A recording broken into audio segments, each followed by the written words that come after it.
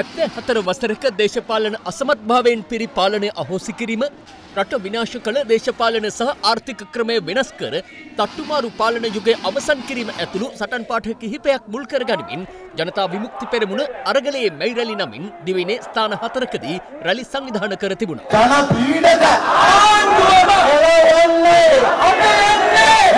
එළවන්නේ අපේ යාපනය වීරසිංහම් ශාලාවේදී හා අනුරාධපුරය නව බස්නැවතුම්පල භූමියේ පැවැත්වුණු අරගලයේ රැලි පැවැත්වුණේ පක්ෂයේ ප්‍රධාන ලේකම් ටිල්වින් සිල්වා මහතාගේ ප්‍රධානත්වයෙන්. Gawin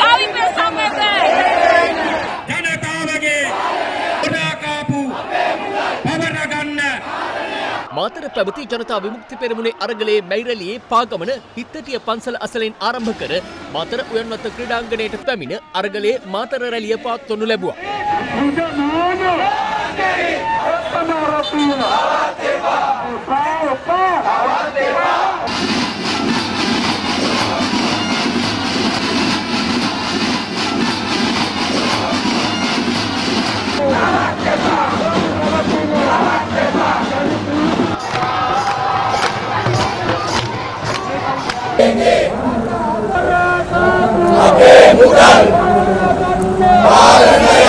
කොළඹ පැවත්තුණු අර්ගලයේ මැයිරලියේ පාකමන අද පස්සොරුවේ මාලිගාවත්ත පංචිකාවත්තේ පිඩි සිරිසේන ක්‍රඩාංගනයෙන් ආරම්භ කර අවසානයේ කොළඹ කොටුව දුම්රේපල ඉදිරිපිටට පැමිණ අර්ගලයේ රැලිය පවත්වනු ලැබුවා.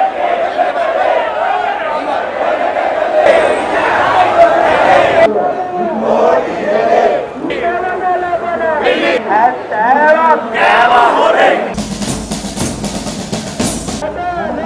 ළමයි අරගින්නේ ජනතාවම සෝදින්නේ ජන පීඩක ආණ්ඩුවම එළවන්නේ අපේ එළවන්නේ අපේ විවිධ මෝඩෝ. කාන්නයි සමහර අය අපිට යෝජනා කරනවා.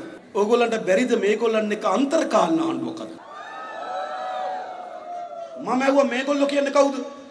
නෑ ජනාධිපති ගෝඨාභය මහින්ද මහත්තයා ඕන්නම් දෙවෙනි පේලියට යවලා තව පැරණි කෙනෙක් ඒගොල්ලන්ගෙන් ගෙනල්ලා. බැරිද? සර්වපාක්ෂික. මම කිව්වා ඉතින් පාර්ලිමේන්තුව එකතු වෙන්න තරම් ගොඩක් නෑනේ අපිට. අපි තුන් දෙනානේ. ඉතින් ඕගොල්ලෝ 222 එකතු වෙලා හදන්නකෝ. එතකොට කියනවා නෑ ඕගොල්ලෝ ආවේ නැත්තම් ඒකට පිළිගැනීමක් නෑ. මේ මොකද්ද කියන්නේ? ඒගොල්ලෝ කැතයි, ඒගොල්ලෝ ගඳයි, ඒගොල්ලෝ විනාශකාරී, ඒගොල්ලෝ අපරාධකාරී. හැබැයි ඕගොල්ලන්ට බැරිද චුට්ටක් පාට කරලා දෙන්න. මොකද කියන්නේ? නෑ එහෙම ඒවා නෑ. අපි කිව්ව එක. අපි ඒ ගැන හිතා බලන්න හරි ගෝඨාභය යන්න උනා. මේ අපරාධය වගක යුත්තා. අවුරුදු දෙකහමාරක් මේ ආර්ථිකට විය හැකි විපත්තිය පිළිබඳව අපි මේ රටේ ආර්ථික විශේෂඥයින් බුරා බුරා කියද්දි පාරට බැලලා කියද්දි මොකද හිටියේ? උම්මතු වේසෙන් හිටියේ. කප්‍රාල් ආර්ථික ඔස්තාද්. මතකද බලන්න. කවදාරි මේ රටේ ජනතාවගේ දේපොළ හොරගම් කරපු එකට අපේ රටේ ආර්ථිකය විනාශ කරපු එකට මහා බැංකු අධිපතිවරයා ලෙස මුදල් රාජ්‍ය අමාත්‍යවරයා ලෙස තමන්ගේ ජනතාවට දෙන වගවීම අත්තරීම හේතු කොටගෙන සහාතික වශයෙන් හිරේ යවනවා.